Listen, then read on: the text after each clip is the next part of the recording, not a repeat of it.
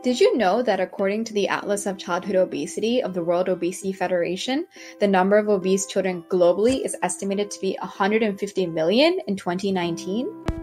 Environmental factors influence childhood obesity. Let's look at an example of two kids living in two different environments and how this can affect their weight. Meet Alex and Sean, eight year old identical twins, separated at birth. Alex grew up in the downtown core surrounded by fast food restaurants.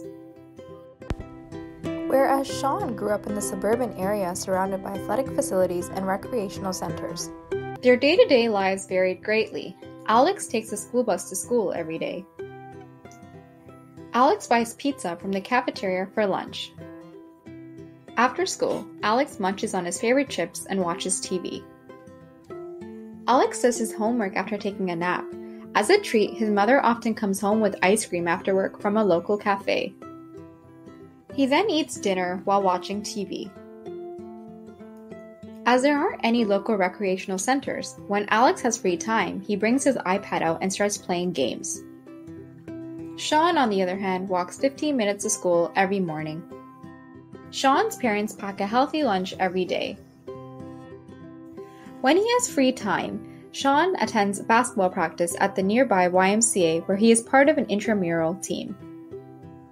He spends 30 minutes watching television, then eats dinner with his family and goes to bed.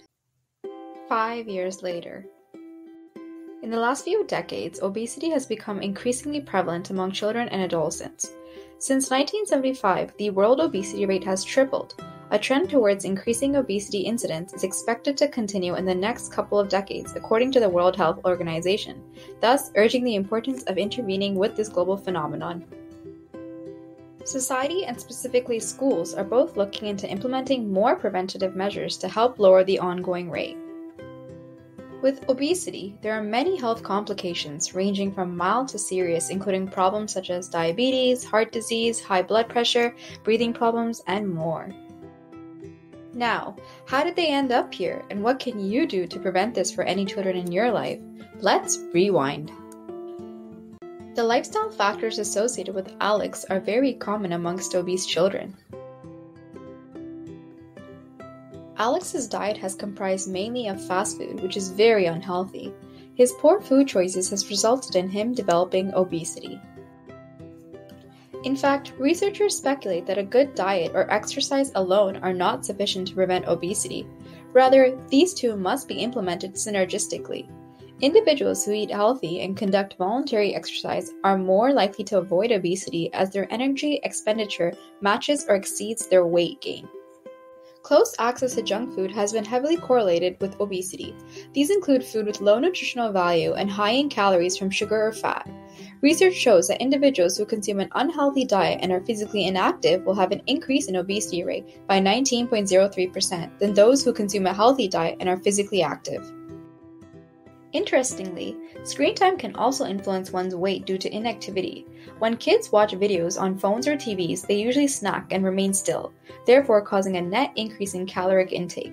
If this remains a consistent habit, as it often is the case for children, obesity may shortly manifest.